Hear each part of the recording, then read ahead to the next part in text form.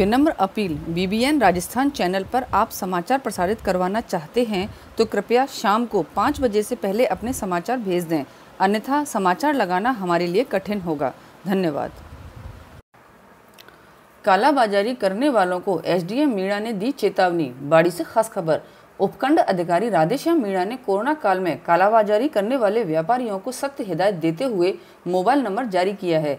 SDM Meena ने mobile number आठ पाँच ज़ीरो तीन ज़ीरो ज़ीरो ज़ीरो ज़ीरो एक ज़ीरो जारी करते हुए कहा है कि कालाबाजारी अथवा अधिक कीमत पर वसूलने वाले की तुरंत सूचना दें, जिस पर सख्त कार्रवाई की जाएगी। कंचनपुर थाना पुलिस ने कर्फ्यू का सख्ती से पालन कराया। ग्रामीण क्षेत्र में सभी दुकानें बंद। कंचनपुर बाड़ी से खास खबर कंचनपुर थाना अध्यक्ष देवेंद्र कुमार ने पुलिस पार्टी के साथ गाँव कंचनपुर एवं मऊआ खेड़ा की सभी दुकानें बाज़ार सख्ती से बंद करा दिए तथा लगातार गश्त करते रहे। जिला पुलिस अधीक्षक केसर सिंह शेखावत के निर्देशन में कर्फ्यू एवं कोरोना गाइडलाइन, मास्क एवं सोशल दूरी का सख्ती से पालन करवाते हुए देखे गए। थाना अध्यक्ष देवेंद्र कुमार ने बताया कि थाना क्षेत्र में कहीं भी कर्फ्यू का उल्लंघन करने पर सख्त कार्रवाई की जाएगी। रैना वाली माता मंदिर क्षेत्र में दिहोली पुलिस ने कर्फ्यू का करवाया सख्ती से पालन। मरैना धौलपुर की प्रमुख खबर। आज कोरोना गाइडलाइंस के अनुसार शनिवार एवं रविवार को पूरे राजस्थान में कर्फ्यू घोषित किया गया है एवं 16 अप्रैल से 30 अप्रैल तक मंदिरों को भी बंद किया गया। इसी कड़ी में मरैना के पास माँ रहना वाली माता का मंदिर है, जहाँ हर शनिवार को श्रद्धालु यूपी एवं एमपी सहित कई राज्यों से आते हैं।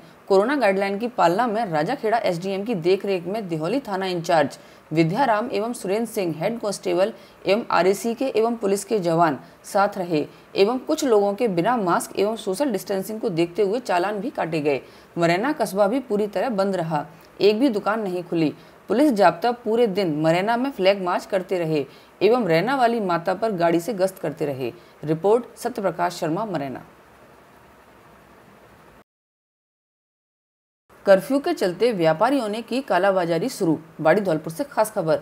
गोल्ड मोहर की कालाबाजारी शुरू। 168 का पैकेट 190 का हुआ। छोटा पैकेट 128 की जगह 160 का हुआ। गोल्ड मोहर के साथ राशन पर भी कालाबाजारी शुरू हो गई है। गोल्ड मोहर खाने वालों की जेब पर पड़ा कालाबाजारियों का भार। अन्य सामानों को भी बढ़ाई गई रेटों पर बेचने के अनेक मामले देखे गए हैं। इस पर प्रशासन को कार्रवाई करनी चाहिए।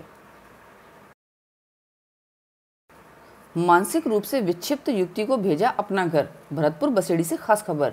अपना घर समिति बसेड़ी ने आज एक मानसिक रूप से कमज़ोर लड़की को थाना बसेड़ी द्वारा सूचना देने पर अपना घर सेवा समिति अध्यक्ष गोविंद गर्ग द्वारा वाहन का इंतज़ाम कर समिति सदस्य सुनील गोयल के साथ अपना घर मुख्यालय बझेरा, भरतपुर आश्रम भेजा गया। वैसे महासभा अध्यक्ष रवि गोयल दोपरा वालों ने बताया कि समिति के द्वारा पीड़ित दीन दुखियों की सेवा निस्वार्थ भाव से की जा रही है, जो बहुत ही सराहनीय कार्य है।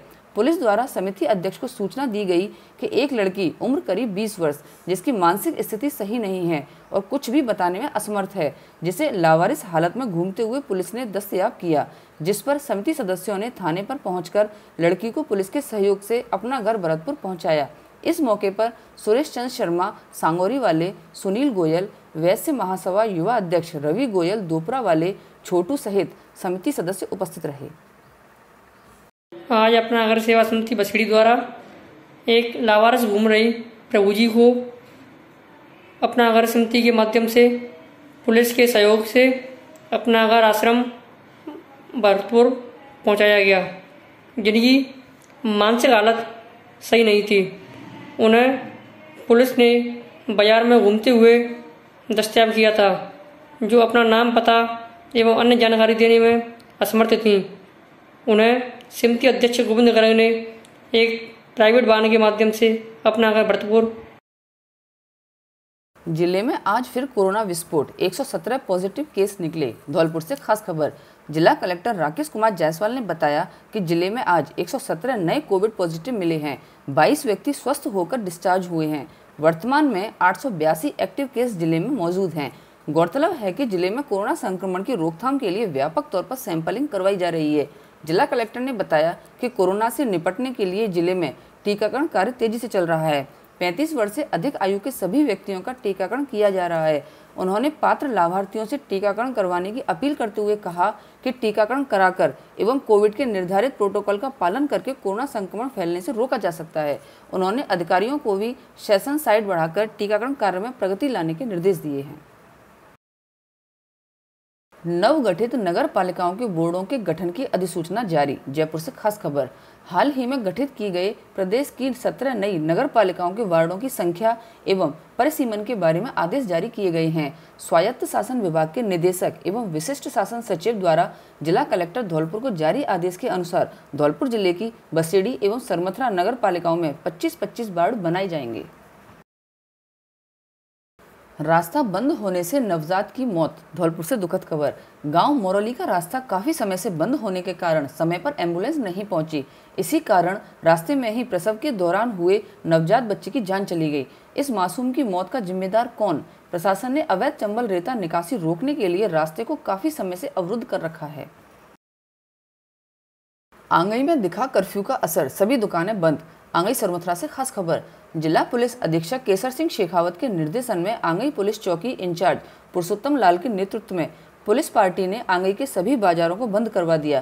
क्षेत्र के लोगों को कोरोना गाइडलाइन की पालना करने तथा पात्र व्यक्तियों द्वारा वैक्सीनेशन करवाने के लिए पुलिस पार्टी द्वारा जागरूक किया जा रहा है। आंगई से वहीद खान की रिपोर्ट। शहर का किया जिला कलेक्टर ने दौरा, कर्फ्यू का सख्ती से पालन करने के दिए निर्देश, धौलपुर से खास खबर। कर्फ्यू के बीच जिला कलेक्टर राकेश कुमार जायसवाल ने शनिवार को धौलपुर शहर का दौरा किया।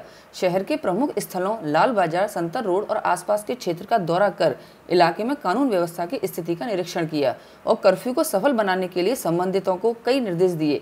इस मौके पर जिला कलेक्टर जायसवाल के साथ उपखंडाधिकारी भारती भारद्वाज व तहसीलदार भगवत शरण त्यागी भी साथ रहे। सड़क का मरम्मत कार्य जोरों पर, मरैना की प्रमुख खबर। कस्बा में कई वर्षों की मांग पूरी हो रही है, जो कि मरैना की रोड जर्जर पड़ी थी एवं बहुत गड्ढे थे, जिस पर आए दिन एक्सीडेंट हुआ करते थे। आज उसका बहुत ही तेज गति से कार्य चल रहा है। एक्सीएन देवेंद्र गुप्ता ने बताया कि थ्री लेयर द्वारा रोड बनाई जा रही है, एवं जहाँ ज़रूरत होगी वहाँ ब्रेकर भी लगाए जाएँगे। मरैना से सत्य प्रकाश शर्मा की रिपोर्ट। और इसमें आज से ये डामरीकरण का काम इसमें चालू करवाया गया है, जिसमें डीबीएम की दो लेयर और बीसी की एक लेयर कुल इसमें तीन लेयर की जाएँगी। इससे इसके अतिरिक्त दोनों साइड में पटरियों का निर्माण कार्य कराया जाएगा एवं इसमें नालियों का भी निर्माण साथ ही साथ करवाया जाएगा, जिससे कि सड़क पर यात्री आसानी से चल सकें और उनको सड़क का लाभ मिल सके। आमजन को समय पर सहायता पहुँचाने हेतु ब्लॉक बार कंट्रोल रूम स्थापित, धौलपुर की प्रमुख खबर। कोरोना के बढ़ते संक्रमण के चलते जिला प्रशासन अलर्ट है। ज़िले के समस्त ब्लॉक में राज्य सरकार के निर्देशानुसार कर्फ्यू लागू किया गया है।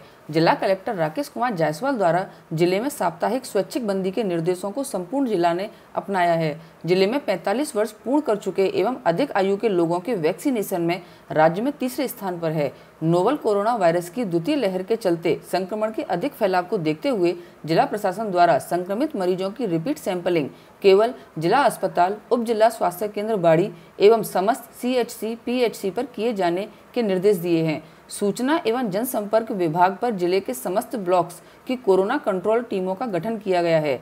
टीमें लगातार आशा एएनएम सहित अन्य से मरीजों की सूचना, उपलब्ध दवाइयों की सूचना सहित अन्य डाटा संकलन व समस्या समाधान का कार्य कर रहे हैं। सीबीईओ दामोदर लाल मीणा ने बताया कि इस महामारी में जन जागरूकता फैलाने के अलावा आमजन के साथ मानवीय दृष्टिकोण के साथ जनहित में कार्य करना बहुत ही सौभाग्य की बात है।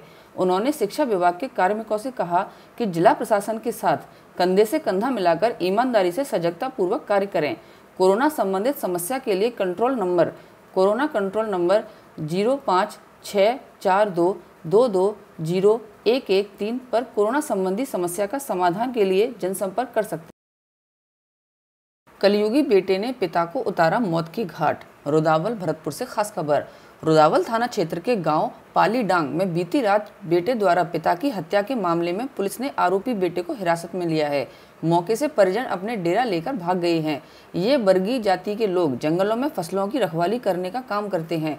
पुलिस चौकी इंचार्ज दिनेश ने बताया कि रुदावल थाना क्षेत्र के पाली डांग में आज शराब के नशे में कलयुगी पुत्र ने पिता की टोपीदार बंदूक के बट से चोट पहुंचाकर हत्या कर दी।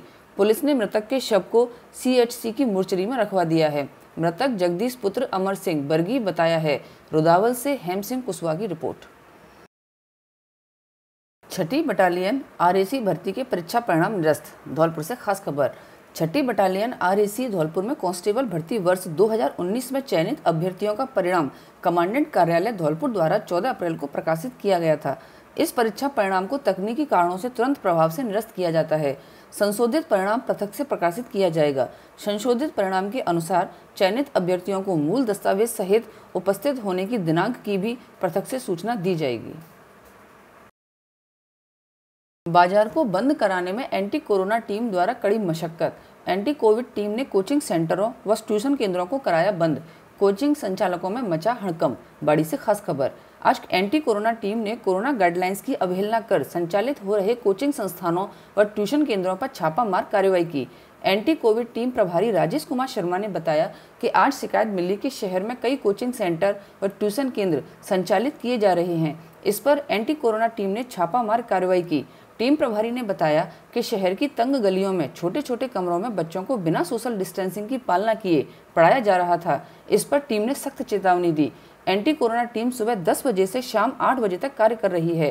टीम में प्रदीप शर्मा, कन्हैयालाल रावत, नरेंद्र सिंह, महाराज सिंह मीणा, पटवारी हृदय पाठक, ब्रजराज सिंह, अनिल कुमार मीणा, प्रेम सिंह, मोनेंद्र सिंह शामिल रहे। बाड़ी से शुभम भारद्वाज की रिपोर्ट।